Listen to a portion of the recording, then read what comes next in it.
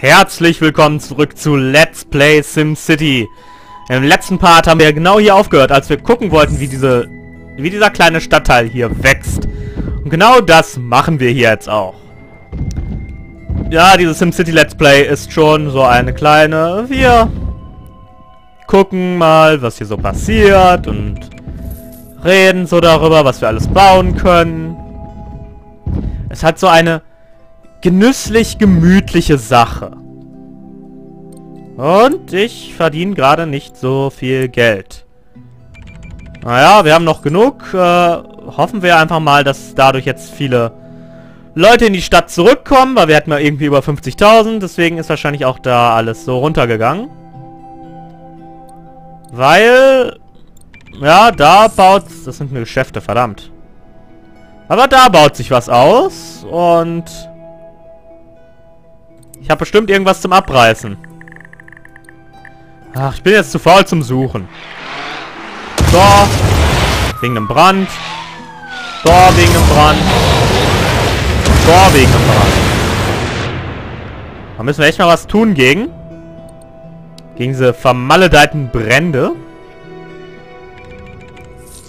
Einzige Möglichkeit, wir müssen mal langsam eine Feuerwache, eine große Feuerwache bauen. Kann ich die oben hinpacken? Ja, perfekt. Jetzt brauche ich nur noch Simoleons. Und während wir darauf warten, dass ich genug Simoleons zusammenkriege, mache ich, glaube ich, weiter damit, irgendwelche Filmreviews hier zu machen. Ich habe ja sonst nichts Besseres zu tun, während wir hier warten. Gehen wir mal meinen Blu-ray-Stapel, der hier rumliegt, weiter durch. Silent Hill Revelation. Der zweite Silent Hill-Teil. Nicht zu verwechseln mit Silent Hill 2 das ja ein Spiel ist, sondern Silent Hill als Film. Der zweite Teil. Auch ein sehr guter Film, wie ich finde. Vor allem in 3D. Also, ich, also von allen 3D-Filmen, die ich bisher gesehen habe, was jetzt nicht so viele sind, und Avatar habe ich mir nicht in 3D angeguckt. Avatar habe ich insgesamt erst sehr spät geguckt. Der Film war gut. Aber halt sonst, was ich so alles gesehen habe, Green Lantern, Alice im Wunderland, Ralf Reichts, die Legende von Argen. Das ist...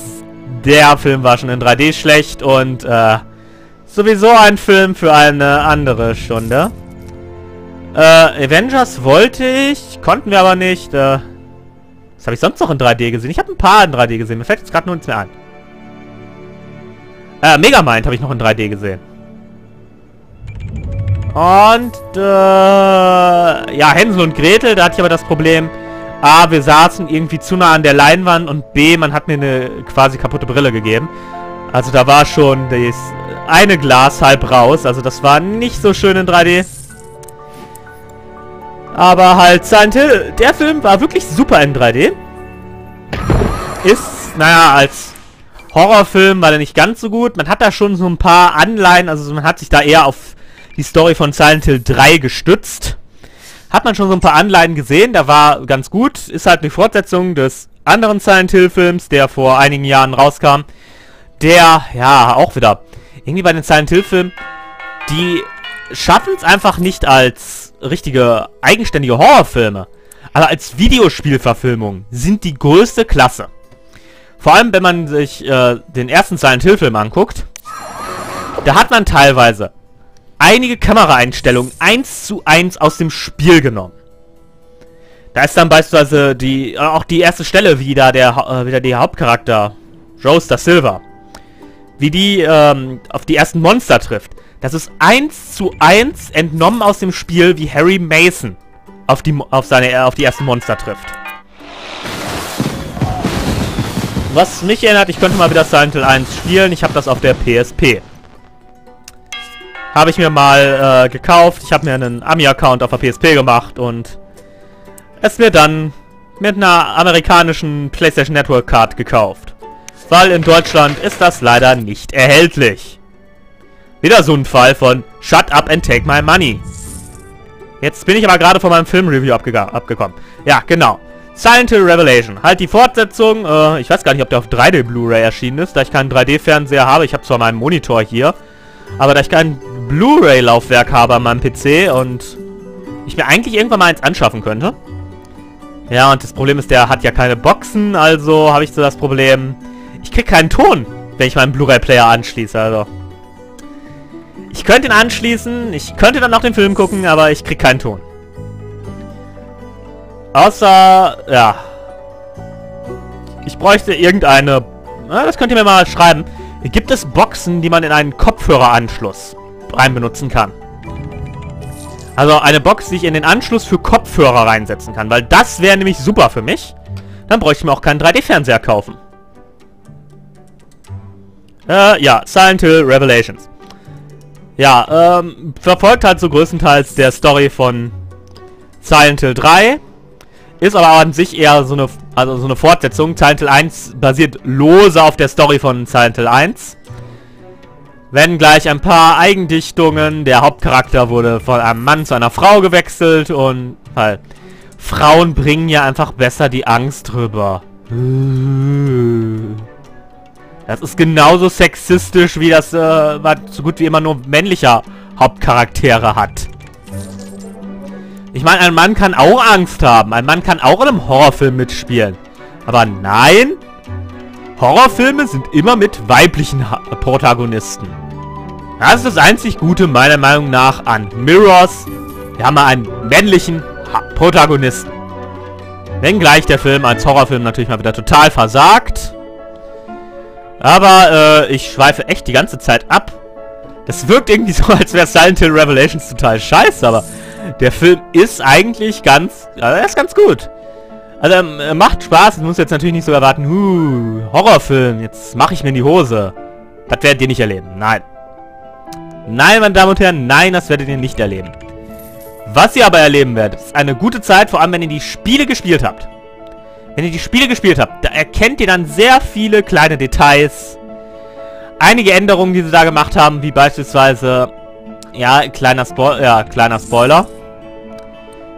Ist dahingehend wirklich nur ein kleiner Spoiler, da das ja schon recht am Anfang ist. Ähm, man hat... Ja, man hat Vincent. Einen, ja, schon wichtigen Charakter in Silent Hill 3, aber ich fand jetzt nicht unbedingt so wichtig. Den hat man erst einmal eine Hauptrolle gegeben, wird nebenbei gespielt von dem Typen, der Jon Snow in Game of Thrones spielt. Keine Ahnung, wie der Schauspieler heißt. Ja, was ist? Ich dachte, wäre was Wichtiges. Nein, äh, keine Ahnung, wie der Schauspieler heißt. Jedenfalls wird er von dem gespielt. Und dann halt äh, sehr jung. So als Teenie. In dem Film, äh, in den Spielen ist er eher älter. Also das haben sie schon mal so klar geändert.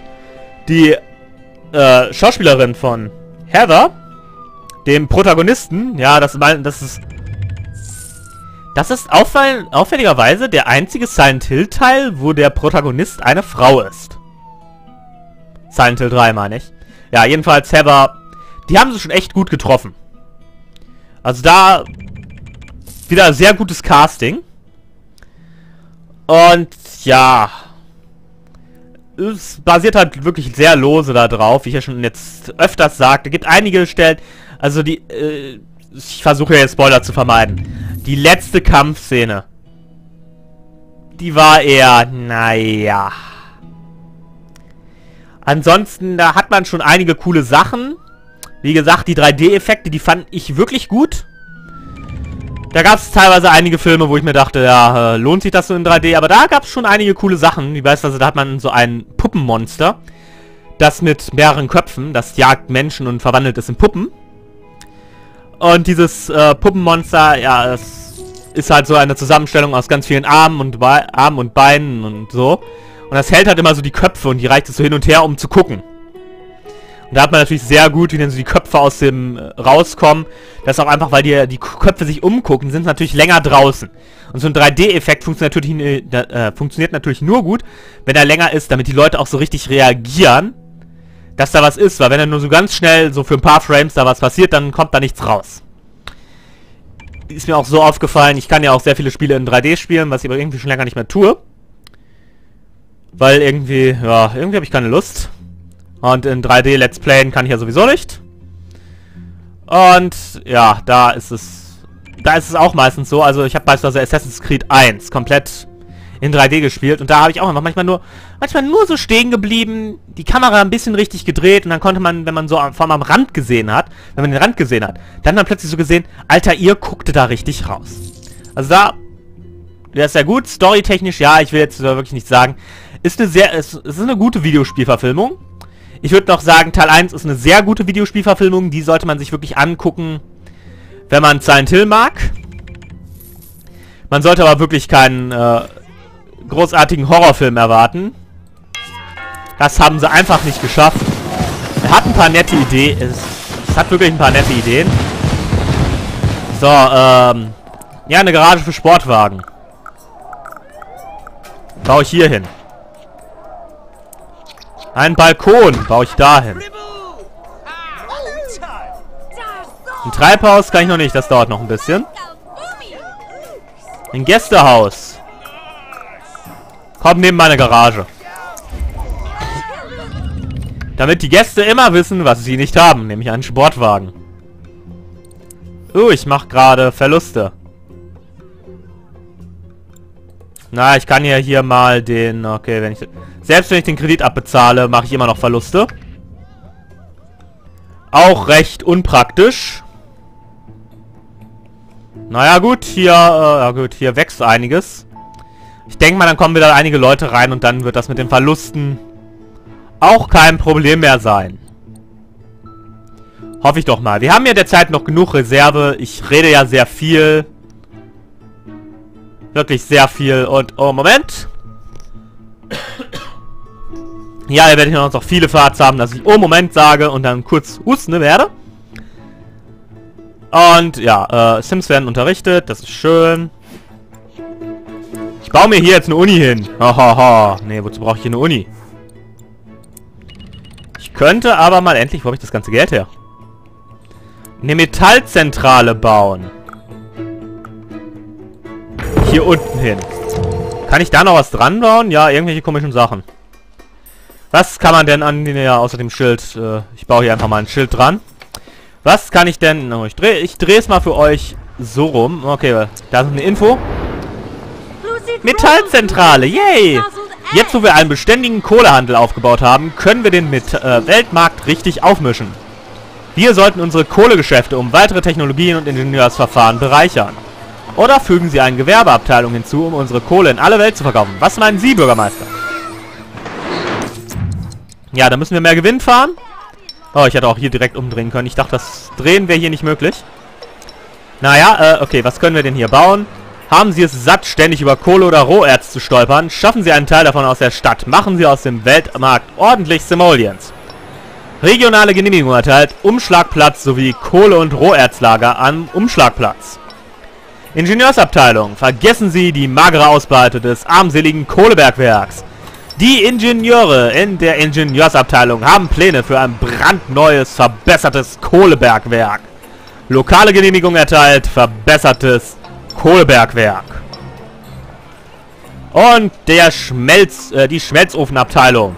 Fügen Sie Schmelzhütten zu metallverarbeitenden, zur metallverarbeitenden Industrie hinzu, um mehr Profit zu machen und breiter aufgestellt zu sein. Lokale Genehmigung Schmelz erteilt Schmelzhütte. Gut. Jetzt haben wir auch endlich die Metallhütte. Haben wir jetzt schon mal einiges und wir machen wieder mehr Verluste. Okay, jetzt glaube ich geht nichts drumherum. 10% muss jetzt... Ups, da habe ich aus Versehen auf 12. Ja, weil irgendwie so das Hochstellen, das ist so ein bisschen laggy. Aber es dauert ein bisschen, nachdem ich drauf gedrückt habe. Da drücke ich dann schon mal öfters aus Versehen doppelt drauf. Aber kann ja mal passieren. Da wächst auch noch wieder ein Gebäude. Und wir haben Bedarf, äh, Nachfrage an Wohngebieten. Hm. Da baue ich mal wirklich jetzt nicht weiter hin. Weil wer weiß, wie das so mit den Aufwertungen da so vonstatten geht. Da lasse ich mal... Ja, das Problem ist, ich kann ja nicht mal gucken. Wäre schön, wenn ich die mir echt angucken könnte. Auch noch etwas, was man, wie ich finde, hätte verbessern können. Warum fangen die da plötzlich an zu bauen, wenn ich hier die Straße baue? Hm, Erklärt's mir mal wer. Es nämlich nicht. So, bis nach da unten. Und hier mache ich noch so eine Verbindung hin. Ja. Passt. Wow. Wow. Ein Erdbeben.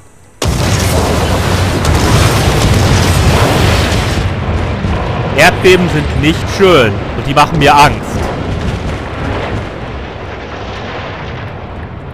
Nee, Erdbeben sind ganz und gar nicht schön.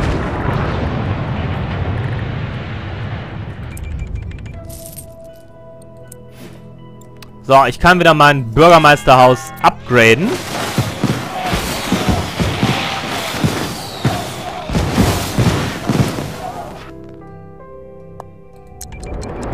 Und in der Feuerwache wollen die auch was für uns. Wir erreichen nicht alle Gebände, äh, Brände. Wir brauchen mehr Löschfahrzeuge.